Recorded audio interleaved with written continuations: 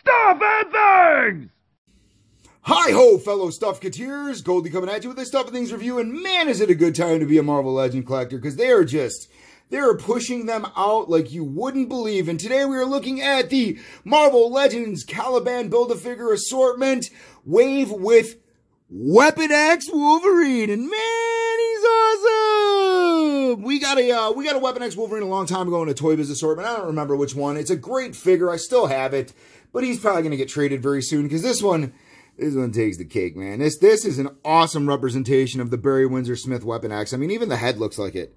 I mean, doesn't that look like Barry Windsor Smith artwork? I mean, doesn't it? It is fantastic, dude. Let's take a look at this guy. It's uh, built basically on your regular Wolverine body. I believe the legs might be new because we have no calf cut.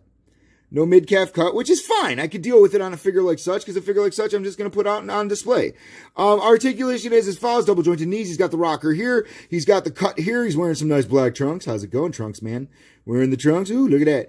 Um, it does have all the cool bells and whistles and ropes that the Weapon X thing does. He does have the Weapon X helmet. Claws look good. Does have the butterfly joint here. Does have the ab crunch here. Does have the swivel here. Double jointed elbows. Double jointed elbows. Uh, swivel here, swivel here. And that's it, man. That's all she wrote. And it is, like I said, this, this, this, this is an awesome figure. Let's, let's, let's get the Barry Windsor Smith head on. Little blank space there. Little Barry Windsor. A little BWS for everybody.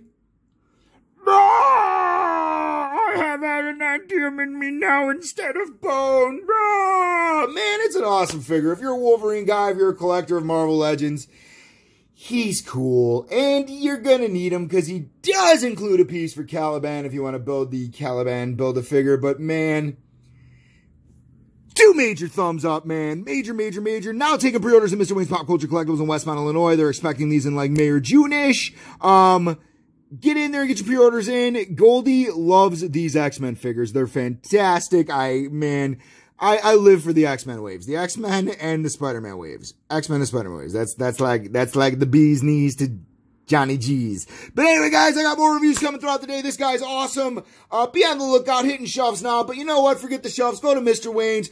I got some more reviews coming at you soon for Stuff and Things. Thanks for watching my video, and be sure to subscribe to my channel. For all my behind the scenes stuff, check me out on Facebook and Instagram. This has been a Stuff and Things review.